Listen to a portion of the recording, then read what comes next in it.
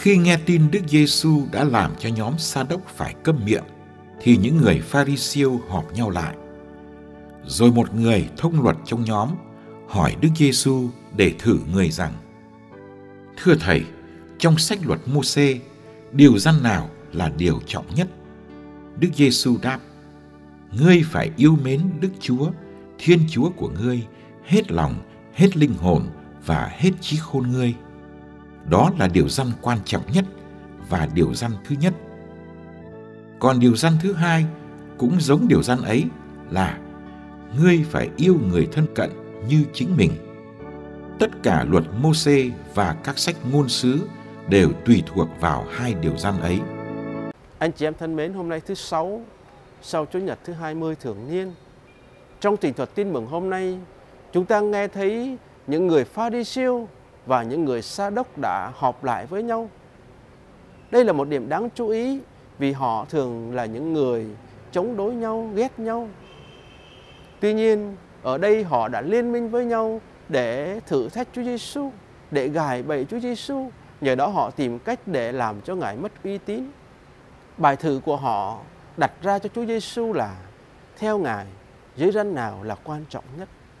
Câu trả lời của Chúa Giêsu hoàn toàn làm cho họ bối rối vì Ngài đã tóm tắt toàn bộ nội dung của luật Do Thái chỉ trong có vài câu. Vì thế họ không thể kết án Ngài là phá luật của họ. Chúa Giêsu đã không chỉ nói rằng yêu người thân cận, nhưng Ngài nói với chúng ta rằng hãy yêu người thân cận như chính mình. Đây là một điều quan trọng vì cách chúng ta đối xử với người khác bắt nguồn từ cách chúng ta đối xử với chính bản thân mình. Nếu chúng ta không có lòng tự trọng, chúng ta cũng sẽ không tôn trọng người khác. Nếu chúng ta tự hành hạ mình thì chúng ta cũng sẽ hành hạ người khác. Nếu chúng ta tự hạ thấp mình thì chúng ta cũng sẽ hạ thấp người khác. Nếu chúng ta lòng đầy những xét đoán tiêu cực về chính mình thì chúng ta cũng sẽ có những xét đoán tiêu cực về tha nhân. Yêu chính mình có nghĩa là yêu cái bản ngã mà Thiên Chúa tạo dựng nên chúng ta. Yêu cái mà chúng ta là. Chúng ta quý giá, chúng ta đáng yêu và duy nhất trong ánh mắt của Thiên Chúa. Thiên Chúa đã trả một giá đắt cho tất cả chúng ta. Ngài đã chịu đau khổ, chịu chết vì chúng ta. Vì thế nếu chúng ta nhìn vào chính mình theo cách thế đó, nếu chúng ta thấy mình như Chúa thấy chúng ta, nếu chúng ta có đủ tình yêu và sự tôn trọng chính mình vì mình là mình thì chúng ta cũng sẽ có tình yêu và tôn trọng những người chung quanh chúng ta.